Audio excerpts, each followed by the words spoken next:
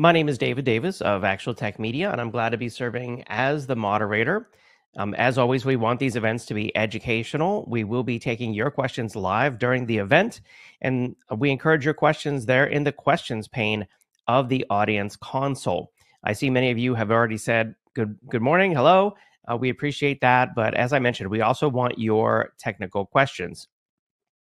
I also want to call your attention there to the handouts tab. It's there that you'll find three different links, um, uh, one link for each of the three uh, expert presenters on the event today Pure Storage, Veeam, and Cisco. If you want to get additional information on these companies, that is the uh, place to go.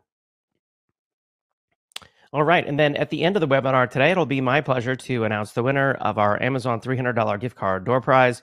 If you're watching this on demand, of course, that drawing would have already occurred.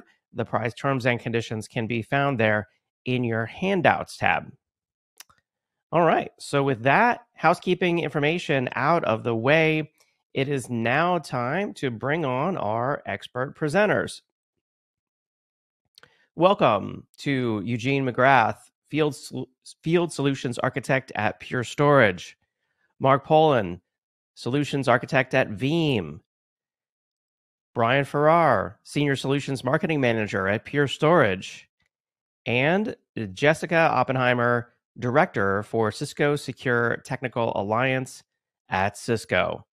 Uh, Eugene, Mark, Brian, and Jessica, it's great to have you on. It's going to be a great panel discussion here. Take it away. Well, today we're going to talk a little about uh, data protection and cybersecurity, and which is perhaps the topic of our era in IT. And we're uh, honored today to have three real experts joining us from three leaders in uh, this space. We've got Jessica Oppenheimer, the director of Cisco's uh, Secure uh, Technical Alliance, talking about uh, cybersecurity and what uh, Cisco brings to the table there. We've got Mark Poland. Mark is a solutions architect from Veeam and has worked for many years with both Cisco and Pure. And finally, Eugene McGrath. Eugene is uh, well known within the Pure community. He is a field solutions architect for FlashStack for Pure Storage. And so we're going to get three different viewpoints on protecting your data and your infrastructure today. First thing, though, we're going to talk to is um, our guest from Cisco, Jessica Oppenheimer. Jessica is a director in the cybersecurity team at Cisco. And uh, Jessica, first, thank you for joining us. I want to see. thank you, Brian. I want to see if you don't mind starting by uh, talking a little about Cisco's cybersecurity strategy. I, uh, full disclosure, I was a former Cisco employee. I always uh, believe that uh, Cisco is one of the leaders in this space and has one of the most comprehensive portfolios available to customers. So go, go ahead, Jessica. Why don't you take us through a little bit of your strategy on cybersecurity? I appreciate the question. As you notice behind me, you don't see the Cisco logo. You see the hundreds of partners that we have. You know, this is a very hyper competitive industry, but being competitors is nowhere as nearly as important as stopping the bad actors. They're really the folks that we need to worry about. And collectively, we can work together to defeat our real adversaries, which are those attackers. So you know, our strategy is based on four trends that we see is that we're moving to hybrid multi-cloud environments, that hybrid work is here to stay, it's not going anywhere, that we have to continue to address advanced threats, and simplification is, is really key. So in order to protect those investments of our partners into the security resilience that is, is so very critical, then that's a next level solution. So we're focusing on a new product, which is the Cisco Cloud Security, a global cloud-driven platform to you know whatever cloud that you're in. Um, but as you see here on the slides, we have a portfolio that covers where the customers are and where they need to be, you know, where their infrastructure is at. So those are the areas of our strategy. And most importantly for me and my team is is working together with anyone. We'll work with any cybersecurity company. Thank you, Jessica. I think you can see um, as the bad actors have gotten more sophisticated, so have the good guys. And it's clear that it takes a village to protect your data. And as I said, this portfolio of solutions is really comprehensive. You know, you've got protection from the from the uh, data center to the cloud, from your applications to edge to IoT. I see um, uh, zero trust workplaces and SASE, uh, secure access service edge uh, in there. And, and it's a lot to take in, Jessica. And but as we know, these these things are always a journey. So help our help our listeners maybe today understand where's a logical place that they could start their journey to protect their infrastructure and their data. Yeah, that's a really great question because it can seem very overwhelming because it is a, a big problem that we're working on together. And as I asked to put there at the top, is that you know it really is about prevention, investing in that pre- prevention of an attack, but those will happen. You know, when I was a special agent in the U.S. Army Criminal Investigation Command, we used to say there's two type of, two types of hard drives: those that would crash and those that already have. So it's like, which one is it? And for networks, you know, I was working with the FBI a lot. The director would say that there's two types of networks: those that have been hacked and those that that will be hacked again. And it's with that, you know, we how can we prevent, but then also detect and respond very quickly. So the focus that I that I have in my team is to meet customers where they are. You know, what technology is currently in your infrastructure not trying to displace anyone. What is do you have right now, and how can you make those point products work together, breaking down those silos? And then as you do that, identify the gaps in coverage. As you see these different areas of security, when someone says to me, "What? How in cybersecurity?" I was like, "What's your interest?" There's so many aspects to it, right? So, looking at those different parts of this, identifying those gaps in coverage, and also communication in your own team with others, with third parties, your policy. How do you your procedures, and then engage with the stakeholders with, within your organization, the vendors you work with, the partners that you have to close those gaps so you can strengthen prevention, reduce that time to detection of breaches, respond rapidly and recoveries as quickly as possible so that you can protect those core assets and ensure that business resiliency. Well, that makes sense. And I think that first step is always the most important step. And it's an interesting comment you made about how you'll work with anybody anywhere on uh, cybersecurity.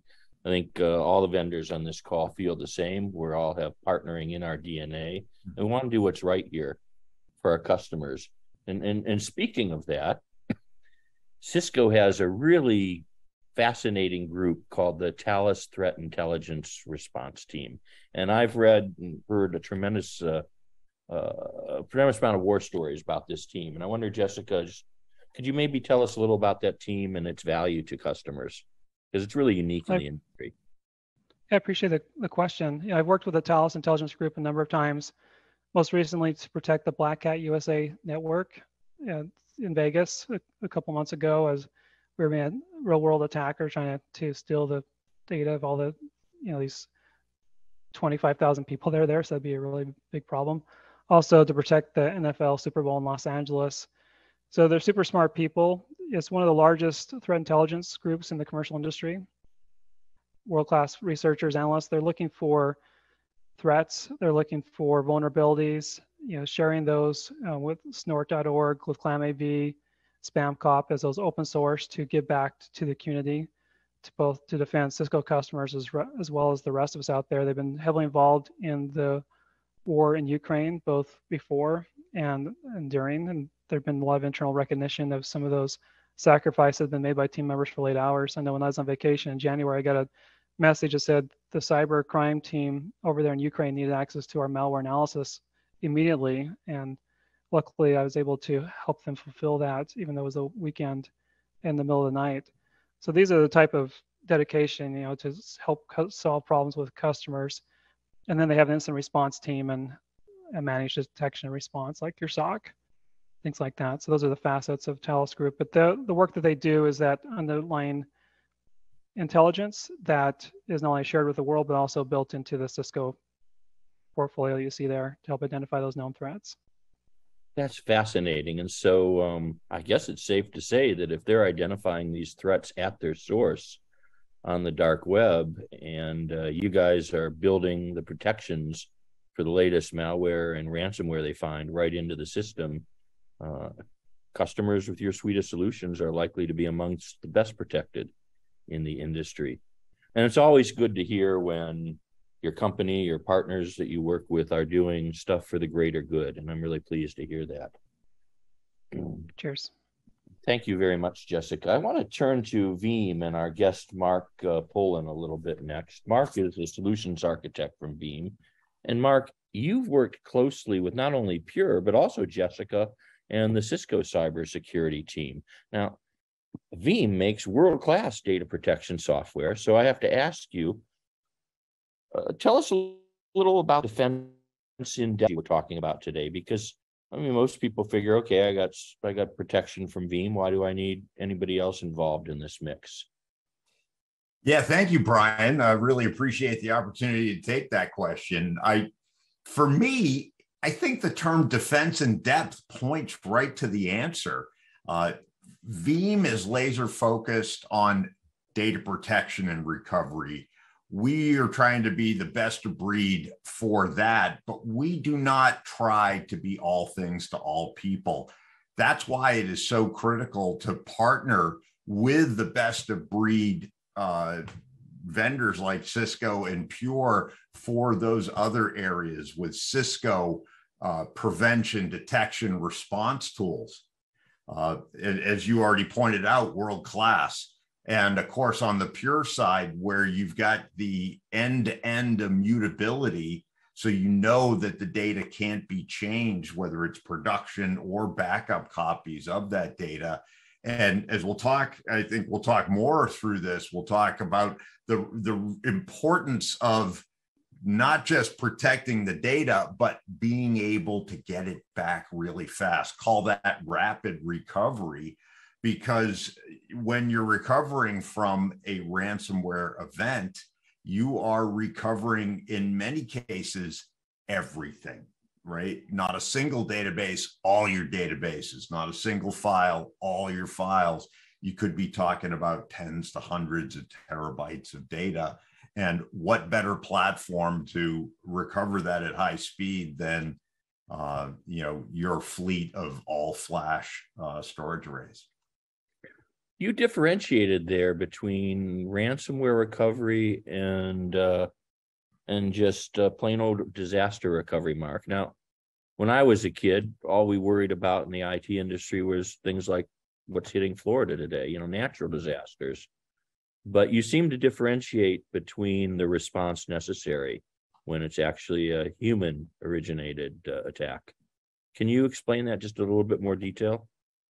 Yeah, I, I, I, if I did differentiate it, I actually did not mean to because you know what I and, and all of us at Veeam have been saying is ransomware is the disaster that you will face. Uh, if you you know you talk about when you were a kid, I maybe it was I was a few years after that for me. It was when I was starting out in my career. Uh, when they talked about disasters, it was the hurricane. It was the you know your data center becomes the black smoking hole.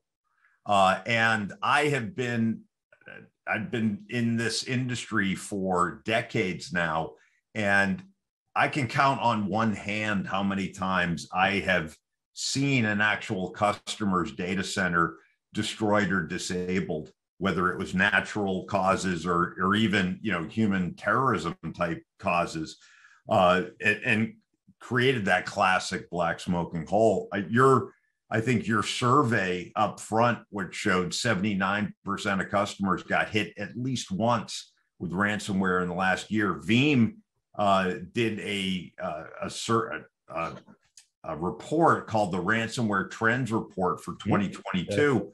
We hired that out. You can find that on veeam.com.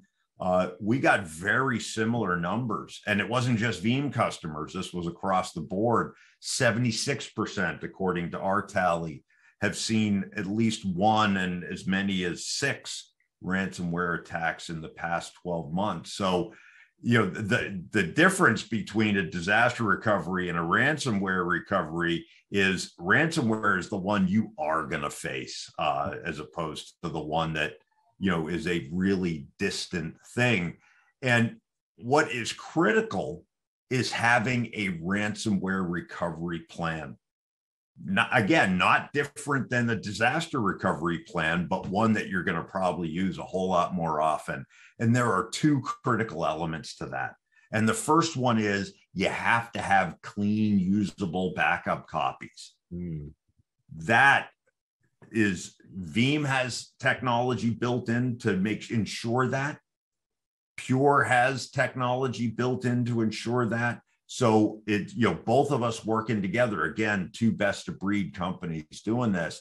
The second thing is, and I mentioned this in my last uh, comment, uh, when you have to recover from a ransomware attack, it could be everything that you're recovering. And to try and do that, I mean, tape's completely off uh, the table in that regard, but a, a, lot of the a lot of the backup systems out there are still spinning disk based, and getting that much data off them uh, to have a recovery that so you won't have severely impacted operations is going to be a mighty challenge with anything that's a spinning disk.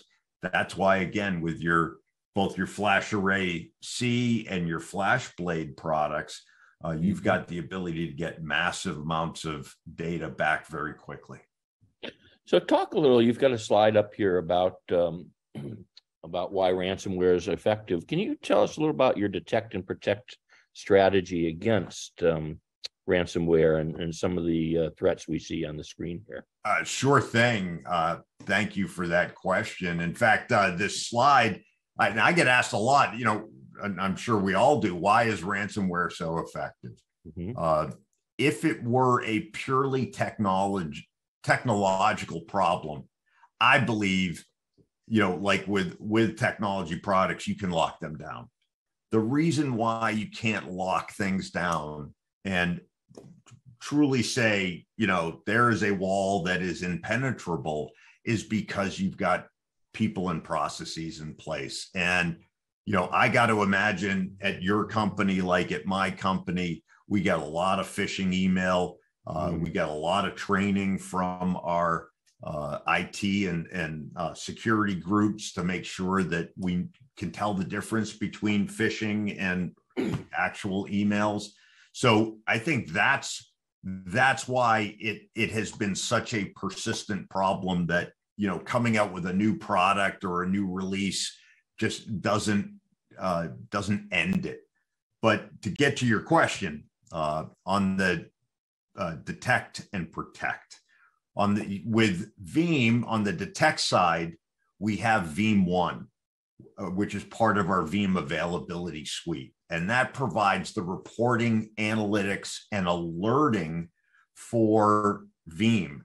So the alerting capabilities that are relevant to ransomware would be things like when we see uh, very high CPU and IO on a production machine because Veeam One has visibility to virtual machines and physical machines that it's protecting. That is uh, suspicious behavior of an encryption event, for instance. Uh, another one to, to mention is you, Veeam, once we've been backing up the data, we know what size it is typically, right? Because customers will back up initially full and then do incrementals from there with synthetic fulls. But on an ongoing basis, it's an incremental backup. And if that daily incremental is 100 gigabytes, and all of a sudden that jumps to more than double that size because all the data got scrambled because it was encrypted, or if it drops to say less than half of that size because something went and actually deleted the data, uh, that is something that we can alert on. And what I have been working with Jessica's team on is uh, how can we get those alerts outside of Veeam? Because by default, a Veeam, if Veeam one detects something, it's going to send that alert to the uh, the Veeam administrator. But you know, we want that information to go to the security administrator. So uh, you know, I've been working with Jessica to build a solution where we can actually have those Veeam One alerts that detect suspicious ransomware behavior, send those alerts over to Cisco SecureX threat response, where they will show up on that uh, security administrator console, and then give that security administrator console even some additional information about maybe when the last time that was backed up. Uh, you know, there's a number of different things that we can, you know, if you will, enrich the data on that. And then they can make the decision whether, you know, they need to take some action. And that action would be a SecureX workflow that would then kick off something within Veeam. For example, uh, if it if we saw suspicious ransomware behavior, then maybe we would want to run Veeam's uh, workload verification job, which we call a SureBackup job, where it takes that machine, the most recent backup, uh, let's say, of that machine, and boots it and tests the operating system. It tests the application, makes sure that everything still works. Uh, so we know that if we need to recover, because we do have an event potentially that that is the right uh, restore point as we call it the right version of the backup to go to so that's on the detect side when we look at the uh, the protect side it's actually a feature that works in tandem uh, or i should say a set of features that work in tandem with what i just described and we we refer to it as an umbrella of secure backup and this includes a range of things from uh, trusted immutability mm-hmm. uh, uh, also the backup verification that i talked about good backup hygiene uh, which i'll talk about uh, likely in a bit. And then also the ability on the recovery side to recover at scale uh, instantly uh, from backup uh, to be able to scan your backups before you restore them back into uh, typically what's called a clean room environment when you're cleaning up from a ransomware event and then you know a whole basket full of security features like you know multi-factor authentication uh, hardening of the infrastructure so it just makes it all that much harder for the bad guys to even get a foothold. Question for you, uh, Mark. You want to take us through a couple of these impact statements on what is really happening in the marketplace with regard to uh, uh, the costs of ransomware and the impact of ransomware?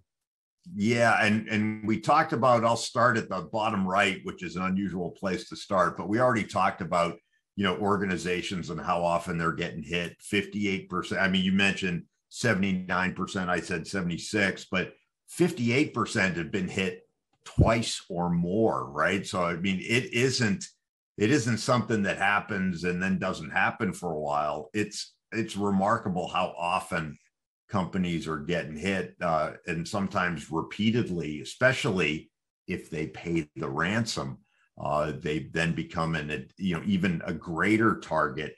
And the other point to mention here is while the ransom is expensive, right? At least to me, when you're talking about an average of $170,000, that that's some real money in in in my in the way I think of things. But that is a tenth of what organizations are spending in the after attack cleanup and and hardening uh, of that environment so that they are protected against that going forward. And then the thing that boggles my mind, I've, I've heard of, I, I read these stories every day about companies that actually have backup data that's good, but they can't get it back fast enough. So they pay the ransom to get the data back to meet uh, you yes. know, a, a, a, a speed level that they're trying to achieve. And they can only get on average 65% of their data back. And it makes sense, right? The ransomware criminals are in the business of encrypting, not in unencrypting. They don't have a big QA department like Pure and Veeam and Cisco that make sure these things work seamlessly. They are just out there, you know, trying to hit as many uh, unsuspecting customer or customers and reap as much ransomware as they can. Yeah, these are criminals out for ha- havoc, havoc, and uh, just because you pay the ransom doesn't mean they'll release your data at all. Well, that's a great segue to um, our next speaker, who is Eugene McGrath, one of our principal field architects for FlashStack at Pure Storage. And playing off what we were just talking about with Mark, uh, Eugene, I want to ask you, you know, you um, you often are asked to help our customers scope their data protection, both with Veeam uh, as well as with our own uh, solution. So what, what are some of the innovations that you talk about from Veeam and from uh, Pure in particular, maybe touch on uh, safe mode and snapshots there? Yeah, absolutely. And and I've actually learned something uh, from both uh, uh, Jessica and Mark, and this has been fantastic. And it it echoes everything that that we talk about here at Pure. And so I do want to kind of step through the the multi phases. So the the first thing that we heard was about zero trust, right? And part of zero trust is understanding that anybody can be a threat. It could be outside the company and, and internally. And so having a strategy around being able to do things like log analytics, right? SIEM and so forth is so important.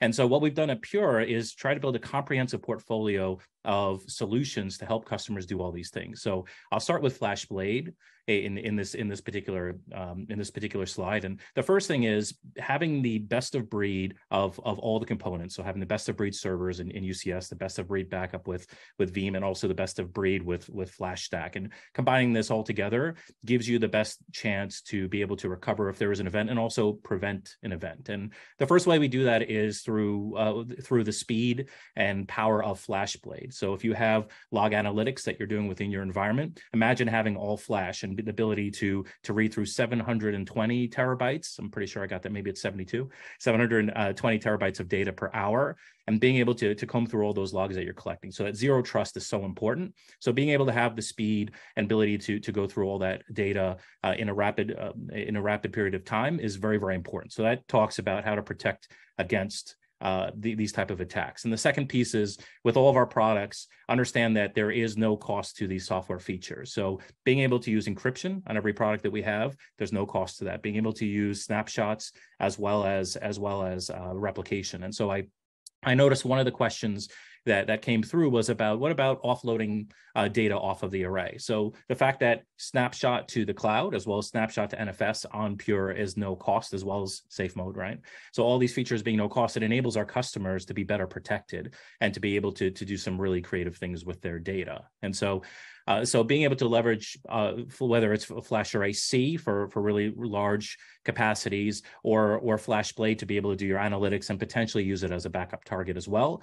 Um, at the same time, gives our customers a lot of flexibility and gives that that multi workload approach to protecting their data. And then having things like encryption uh, and also our data reduction as well as our replication technology means we're efficient with space. We're able to to take your data and move it around to protect that data um, as well as protect it through immutable snapshots. And the other the other part that's really important to know about about FlashStack is our commitment to open, right? Our commitment to API first uh, integration and our integration with uh, with Cisco Intersight or integration with Veeam are two examples of that, where we give you the ability to manage manage a FlashArray and, and FlashBlade within within whatever interface is important to you. And what this really does from the data protection standpoint is it gives you the ability to orchestrate it gives you the ability to automate processes to ensure that something isn't missed through human intervention. The more in, in manual steps that we need to take, the, the more likely something something bad happens. And so, assuming that all business is going to be attacked and that no one can be trusted is really a great approach. And it starts with analyzing logs, which is exactly what what FlashBlade is built for, protecting your data with encryption, um, as well as as ensuring that you have immutable backups. And the one thing that we've done to take this a little step further, you asked about safe mode, is what happens if someone does get access to, let's say, administrator credentials? That is one of the worst possible scenarios that you could possibly have in your environment, and and one that I've I've I've gone through on the uh, the post sale side, helping customers remediate from that. But if if a, if an actor was to get your administrative credentials, they could uh, theoretically log into your array. And this is actually a very disturbing trend that we are seeing is uh, is um, people going after or, or hackers or bad actors going after people's backups right? And that backup re- repository is more important than ever. And so what Pure has done is we've created this this uh, feature, Safe Mode, and it is included with every Pure product that we sell uh, every pure solution that we sell. And what it basically does is, is we know that these snapshots are immutable, but what if I could lock them down further? So if you have an angry administrator who's who's leaving the organization and he has the keys to the kingdom, if I could prevent him from deleting those snapshots because you're using them for protection, that is of huge value. If it, if a bad actor comes into your environment and they cannot reduce your protection, that is of huge value to our customers. That helps them uh, protect against uh, ransomware. And I saw one of the other question was how do you protect your backups and and how long do you retain those backups? Uh, and so with, with with when we look at FlashStack, imagine setting your your backup schedule on for immutable backups to be one per day right and you and you said say that i want to retain these for 30 days so i do not want these these these uh, snapshots to ever be deleted if a bad actor was to get in your environment and they wanted to, ch- delete those snapshots, they they wouldn't be able to. They want to then change the, the, protection. Maybe they'll try to change it down to five days or something because a lot of times these ransomware attacks are over a course of time. Uh, before they actually uh, uh pull the trigger and and and and have a, a full scale attack.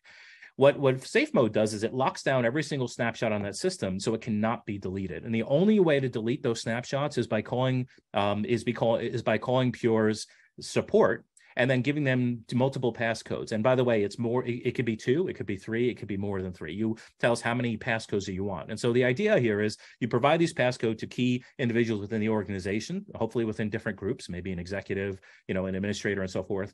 Um, and what this does is it prevents anybody from being able to reduce the protection of your of your data as well as to uh, it prevents them from deleting any snapshots.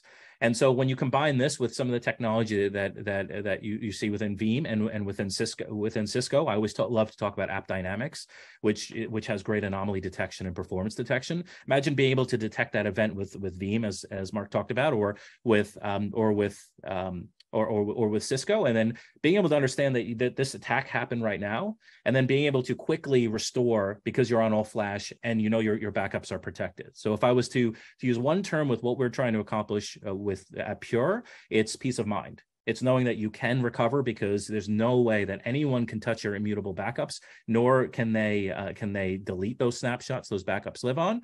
Um, and then secondly, being able to, to ensure that you can restore as quickly as possible. And these are really two really key areas and what we've really focused on uh, here at Pure and, and what we focused on building.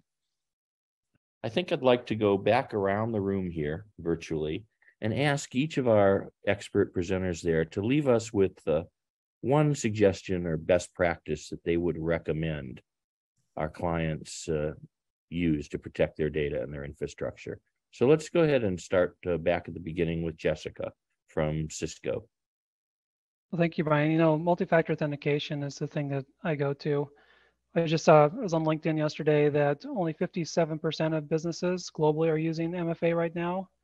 That's up 12% from last year, but it's still not enough. You know, we you saw Uber got hit with someone who had the MFA, but there's also just training, right? Because they kept hitting them with the MFA and then popping on their phone and hitting with WhatsApp, say, hey, you got to hit it, or he's going to keep spamming you, pretending to be from their technical support. And Cisco, we got hit as well by a similar attack this year, and looks like they were trying to set up for a ransomware, but luckily it was it was found in our Talos team did a full expose like here's what happened, here's how you can learn about it. So, you know, a lot of that same study, I'll, I'll just throw it here. Last LastPass, the one that, that did it, because I don't like to just throw out statistics without stuff. But I was reading that yesterday, and it was interesting that most all of us are using our phone. Like 95% of us are using a software based, and only if I have a backup UBI key, YubiKey that I carry as well in case I lose my phone, and then about 1% biometrics. But it's so like attackers have learned that if we can just slam some people on the phone long enough that they will hit the button. And so what we wow. did at Cisco with Duo is now, you know, summer after we hit ourselves with this sort of social engineering slash MFA overcome attack is put a four character code that pops up on your screen and then also verify with your phone so you know it's actually the yours, the one that you did. So they adapt, we adapt is this continuous thing, but definitely those that those 43% are not using MFA. So multi-factor Let's start with that. authentication, stay one step ahead of the bad guys, if possible. So, so uh, Mark uh, from Veeam, uh, Mark Pullen, what what would your best practice suggestion be to our listeners today? Well, and, and I don't want to assume that anyone's running Veeam. So whether you're a Veeam customer or not, today my recommendation would be good backup hygiene. And that is the three, two, one rule of data protection. 3 Mhm. copies of your data production and two backup, two different media types or at least authentication mechanisms, one offsite. What Veeam has done with that is we've extended that to what I affectionately call the zip code rule, which is 32110. And the additional one is at least one immutable copy with with pure that can be you know as many as you know two or three immutable copies if you like. And then the final zero is zero errors when you ran your recoverability tests. Now for veeam customers that's an automated SureBackup job where you know you set it up and then you just run it on a schedule. But even if you're not running veeam and you have to do it manually i would recommend that that is worth the time and if you find that to be you know overly burdensome maybe take a look at veeam Great suggestion, Mark. Thank you. And finally, uh, Eugene McGrath from Pure Storage, what would you suggest uh, folks look at as a best practice for data protection? Absolutely, and I think I think the first thing is what we talked about is um, is that everybody could be a bad actor. It's it's that zero trust, right? So it's about multi-factor authentication. It's also about having multiple ways to to look at your data. So one of the great questions that I saw in the Q and A was about um, different using different platforms to be able to detect threats, and and the, the answer you you gave Jessica is fantastic. And the one thing I would add to that is also that in Pure One, what we've added is the ability to uh, is to see if if a volume is has safe mode turned on or not to give yourself peace of mind. So the first thing is zero trust, absolutely zero trust. The second thing is have multiple recovery plans, having you know multiple copies like Mark spoke about, um, using using immutable backups like safe mode and and ensuring that nobody can delete those backups. And then the third one, which is which is most important, I think someone said it in the chat, is test, test, test. Have a plan, the plan is is uh, to me is only as good as the one you've tested so you always test your dr strategy you test your backup plan make sure that that you you have an easy way and a and a an effective way to recover from backups right and and and doing that on on flash of course certainly helps and so definitely look at flashblade and, and FlashArray and, and FlashStack in general and i think those are the, the the golden rules for me when it comes to protecting your data uh, no matter what the type of scenario you run into That's a great suggestion. Exactly. The old fire drill rule. What's the use of having protection if you don't test it and make sure that fire extinguisher is still loaded and you know where the exits are, so to speak? Well, thank you very much to our panel of experts today, Jessica Oppenheimer from Cisco, Mark Poland from Veeam, Eugene McGrath from Cisco, I mean, from Pure, my, my, my bad there. We are such tight partners. Um, and I hope uh, this has been enlightening for our listeners today. I think we're going to go next to a little bit of Q and A. Yes, um, we have quite a few questions in the Q and A portion. Um, Mark, I think maybe there was a question that you looked like you were going to answer live. Um, do we want to start there? Uh, I think I, I fumbled that uh, that button there. Uh, if, if the question, if, I'm going off memory, but uh, it was, can can you encrypt something that data that is immutable? And I was going to type in an answer and I clicked the wrong button. Uh, so the the answer is no. You can't encrypt something that is immutable that the whole point of immutability is it can't be deleted it can't be modified uh, and it is uh, it, it it remains in that pristine state that it was uh, originally written in so uh, really powerful capability for this conversation but i hope you go away from this conversation with uh, that immutability is one of the tools in the toolbox. It is not some kind of magic silver bullet that will always save you from every type of threat. Defense in depth. Multiple tools, for said, yes. multiple possible attacks. Great, great stuff. Um, Eugene, how much storage overhead is needed for safe mode? And I'm actually glad uh, someone asked this question because it allows me to geek out a little bit about um, not not specifically to ransomware, right? Um, and so that's a great answer, a great question. And so the answer is that uh, Pure has a really unique way of, of handling snapshots in that uh, we don't copy the data. So if you look at older arrays, especially especially spinning disks, you didn't have a lot of performance, right? So you had to copy that data and move it somewhere else because the spindle was really too slow. And so what we do is we we we we have this technique called uh, snap diff where we can basically freeze the original set of data. So all that we're retaining on that snapshot is the change data, and that change data is also deduped and compressed. So the answer is it's very, very small. Um, it, it, it, it does vary based on the change rate of data, but it's not 2x it's not you, you don't need double your your storage um, and uh, and so I, the unfortunately the real answer is is that it depends on what your change rate is but that's something you should be able to see um, going within either our GUI or Pure One will show you the growth of your data and you know exactly uh, by by gauging that exactly how much um, storage you need to set aside. So, but the good news is it isn't double or triple like you used to see in, in years of old, right, with storage. So, great question. That's a good question. This one's this one's open to the panel. Is the organization practicing the 321 rule, keeping three copies on backup on two types of media with one copy in an in external location? Is that the way to go? Yeah, I'll I'll jump in on that one. That you know that is the way to go. That that's what I call good backup hygiene. That has been the rule you know sometimes veeam gets credited with creating that rule. I, that's very nice but i don't think that's true. Uh, i think we are one of the biggest proponents of that rule.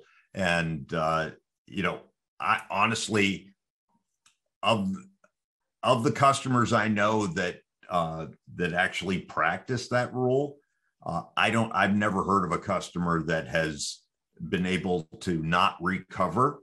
Uh, but as we've seen in the polling questions, as we've seen in the ESG data, when you start understanding how many customers percentage wise are actually following that rule, it's it's typically less than 50%, which and and it's been a while since I've been out in the field actually talking to customers every day, but uh, that you know in the environment that we live in today that like with multi-factor authentication and some of these other things those are behaviors that need to change and change immediately because there is such a huge benefit to doing it.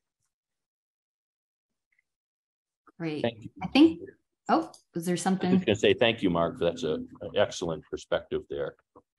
We might have time for one more question again open to the panel how does the triumvirate look at ransomware in public cloud deployments? Are your solutions extensible to data in use or stored in public cloud? We got any feedback on that one, or we we can uh, take that one offline?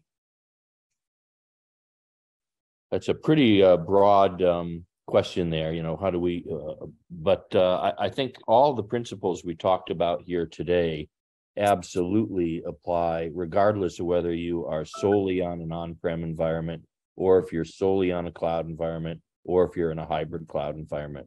Protecting data is protecting data. And hopefully, uh, regardless of your architecture, uh, and FlashStack supports all of those architectures. But regardless of which one's right for your organization, you're going to follow some of these best practices and use some of the tools from Cisco and Veeam and Pure to secure your infrastructure.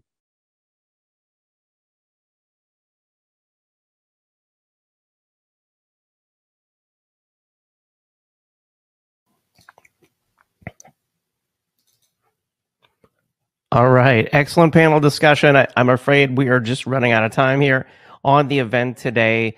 Brian, a great way to, to wrap up there. Uh, Jessica, Mark, Eugene, thank you so much for all your excellent advice on the event today. We answered so many of the questions from the audience. I'm afraid we didn't have time, though, for all the questions, and we'll be routing those over to uh, Pure Storage, Veeam, and Cisco So thank you to everyone out there in the audience for all your excellent questions.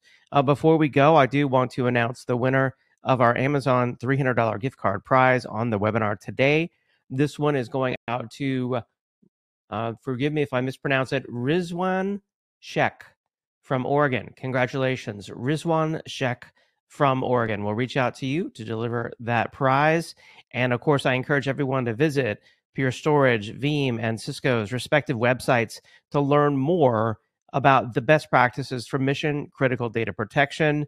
Uh, they are the ransomware and cybersecurity experts. So, thank you so much for joining us on the webinar. I hope that you learned a lot and I hope that you have a great day. We'll see you next time. Bye bye.